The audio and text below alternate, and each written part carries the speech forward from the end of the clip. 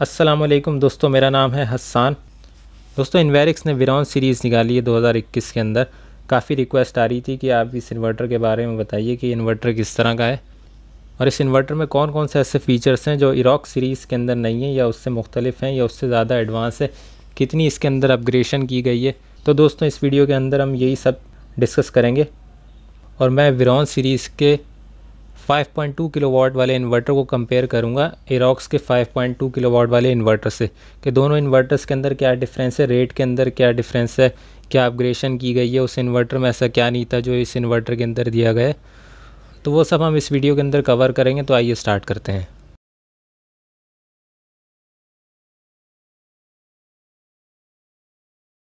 तो दोस्तों comparison start करने से पहले मैं आप लोगों को एक चीज़ बताना चाहता हूँ कि अगर आप लोगों को इलेक्ट्रिकल से रिलेटेड किसी भी किस्म की कोई सर्विस चाहिए तो वो आपको इस प्लेटफॉर्म से मिल सकती है। इलेक्ट्रिकल की बिल्डिंग वायरिंग हो गई हाउस वायरिंग हो गई, या सोलर के प्रोजेक्ट्स हो गए, बड़े से बड़े प्रोजेक्ट्स की आपको कंसल्टेंसी या किसी भी किस्म की सर्विस आपको इस प्लेटफॉर्म पर हम प्रोवाइड कर रहे हैं।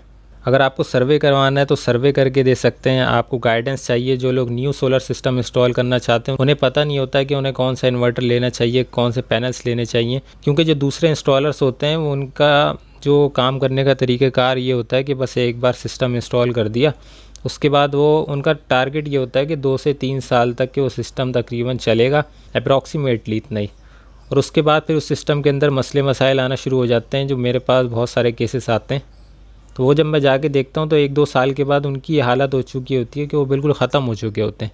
पाँच पाँच किलो वाट के सिस्टम लगाए हुए और उसके अंदर डेढ़ डेढ़ सौ वाट के सोलर पैनल्स लगाए हुए जिसको आप अपग्रेड ही नहीं कर सकते, कुछ कर ही नहीं सकते उसके साथ। एक या दो साल के अंदर ही सोलर पैनल पावर देना छोड़ देते हैं तो लोगों को गलत गाइडेंस मिल जाती है।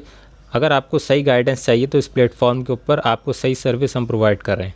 बट एक चीज़ मैं आप लोगों को बताना चाहता हूँ कि नथिंग इज़ इन फ्री अगर आप कराची के अंदर हैं तो कराची के अंदर आपको सर्वे इंस्टॉलेशन टीम और कंसल्टेंसी या सिस्टम की कमीशनिंग ये सारी सर्विस आप लोगों को प्रोवाइड की जा सकती है। अगर कराची से बाहर कोई चाह रहा है तो उसको सिर्फ़ और सिर्फ़ गाइडेंस दे सकता हूँ मैं। बट अगेन मैं कहूँगा कि you have to pay first पहले आपको पे करना होगा, उसके बाद आपको सारी गाइडेंस मिल जाएगी। अगर आप सोलर सिस्टम इंस्टॉल कर रहे हैं तो आपको इन्वर्टर कौन सा लेना है, आपका बजट कितना उस हिसाब से देख के आपको एक एक चीज़ प्रोवाइड कर दी जाएगी। उसके बाद आप खुद डिसीज़न लें कि आपने हमसे इंस्टॉल करवाना है या फिर किसी और से इंस्टॉल करवाना है, आपको पूरे सिस्टम का पता है, कहाँ से परचेज़ करना है एक एक चीज़ आपको बता दी जाएगी। आप खुद ही परचेज़ करके उसे किसी से भी इंस्टॉल भी करवा सकते हैं और अगर हमसे इंस्टॉल करवाना है, हम, हमारी सर्विस चाहिए तो वो भी आप लोगों को मिल सकती है। डिस्क्रिप्शन के ऊपर फेसबुक पेज का लिंक दिया हुआ है, वहाँ से आप जाकर मैसेज कर सकते हैं और उसके बाद आपकी रिक्वेस्ट देखकर आपसे कांटेक्ट कर लिया जाएगा। दोस्तों आप वीडियो स्टार्ट करते हैं।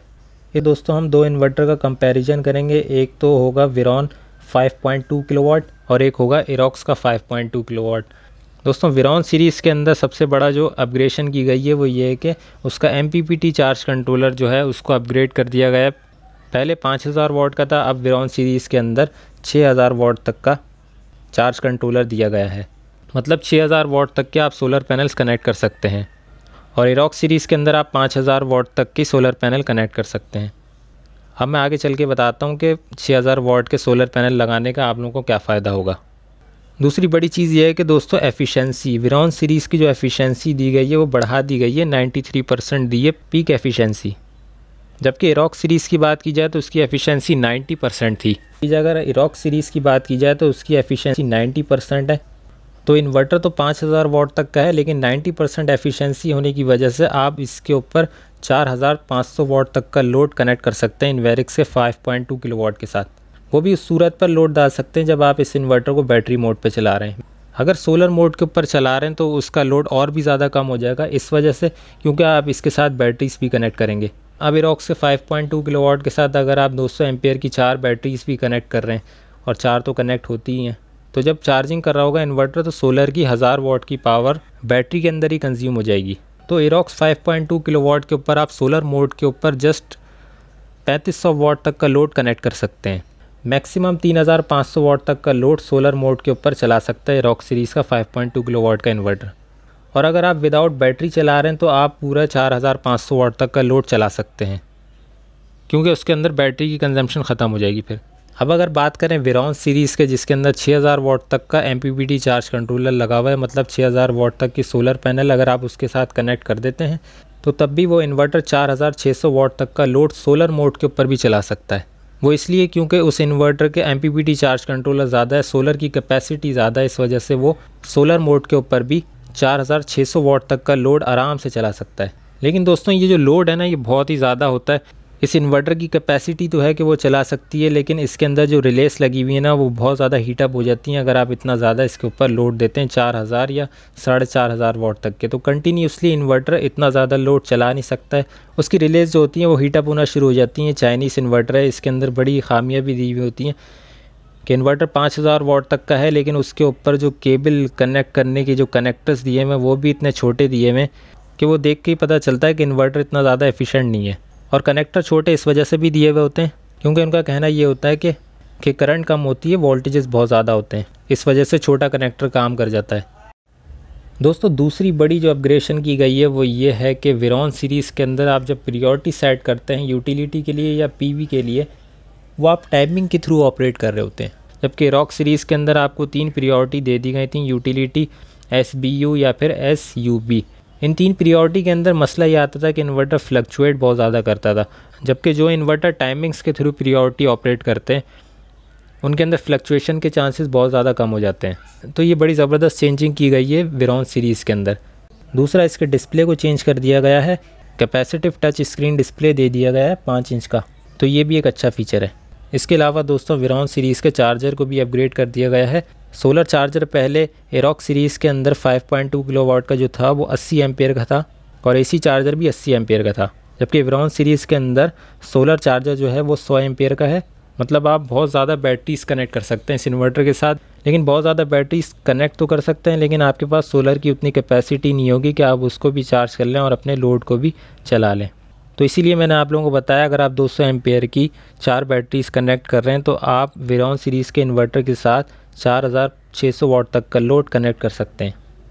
और अगर एरॉक सीरीज़ के अंदर आप चार बैटरीज 200 एम्पेयर की लगा रहे हैं तो उसके साथ आप 3500 वाट तक का लोड मैक्सिमम चला सकते हैं, उससे ज़्यादा नहीं चला सकते। क्योंकि उसका एमपीपीटी चार्ज कंट्रोलर छोटा है 5000 वाट का है। दोनों में एंटी डस्ट किट लगी हुई है। दोनों के अंदर पैरेलल किट दी हुई है। नाइन यूनिट्स आपस में पैरेलल होकर सिंग होकर चल सकते हैं। ग्रेट फीडिंग का दोनों में ऑप्शन दिया हुआ है। दूसरा विरॉन सीरीज़ के अंदर बिल्ट इन ब्लूटूथ ऑप्शन भी दिया हुआ है। वाईफाई एंड्रॉयड एप्लीकेशन के थ्रू दोनों ऑपरेट हो सकते हैं। एक चीज़ बीएमएस की होती है बैटरी मैनेजमेंट सिस्टम वो दोनों इन्वर्टर्स के अंदर दिया हुआ है, लेकिन वो एक किट होती है जो अलग से आपको लगानी पड़ती है दोनों इन्वर्टर्स के अंदर। अब एक चीज़ मैं आप लोगों को दोस्तों बताना चाहता हूँ कि अगर आप इरॉक सीरीज़ का इन्वर्टर लें या विरॉन सीरीज़ का इन्वर्टर लें, आप कोशिश ये किया करें कि आप बड़े से बड़ा सोलर पैनल यूज़ करें। जैसे विरॉन सीरीज़ के अंदर तो आप 600 वाट तक का सोलर पैनल भी कनेक्ट कर सकते हैं। और इसकी इनपुट करंट भी ज़्यादा कर दी गई है, सत्ताईस एम्पेयर तक कर दी गई है। बाद लोगों को रिकमेंड कर देते हैं, लोग कि डेढ़ सौ वाट का लगा लो, दो सौ वाट का लगा लो या तीन सौ तीन सौ भी बहुत कम है। मिनिमम चार सौ वाट तक का सोलर पैनल आप यूज़ करें, वो ज़्यादा बेहतर है। उससे फ़ायदा ये होता है कि आपकी डीसी जो केबल्स होती हैं, उनकी कंजम्पशन बहुत ज़्यादा कम हो जाती है। डीसी केबल एक ऐसा लॉसेस है कि आपकी डीसी पावर को भी लॉस करती है और वो एक लॉस है। इसलिए बड़े से बड़ा सोलर पैनल यूज़ करें ताकि आपकी डीसी केबल्स के जो कनेक्शंस हैं, वो कम से कम हो जाएँ। अब दोस्तों, इन दोनों इन्वर्टर्स की रेट की बात कर लेते हैं। अगर इरॉक सीरीज़ के 5.2 किलोवाट की बात करें तो वो अभी भी एक लाख दस हज़ार रुपये उसके प्राइस चल रहे हैं। अप्रॉक्सीमेटली इतने चल रहे हैं। और अगर विरॉन सीरीज़ की बात की जाए तो एक लाख तीस हज़ार तक के उसके प्राइस हैं। अब आप लोग देख लीजिए इरॉक सीरीज़ के ऊपर सोलर मोड के ऊपर आप पैंतीस सौ वोट तक का लोड चला सकते हैं। और अगर आप विरॉन सीरीज़ की बात करें तो उसके ऊपर आप चार हज़ार 600 वाट तक का लोड चला सकते हैं अगर आप कंप्लीट सोलर पैनल कनेक्ट करते हैं पूरे एम चार्ज कंट्रोलर पर तो दोस्तों, उम्मीद है ये वीडियो आप लोगों के लिए हेल्पफुल रही होगी। अब अगर आप लोगों को पसंद आई है तो इसे लाइक ज़रूर कर दीजिएगा। और अगर आप चैनल पर नए हैं तो इसे सब्सक्राइब कर लीजिएगा ताकि मेरी सभी आने वाली वीडियो आप लोगों को नोटिफिकेशन पर मिल जाए। Thank you so much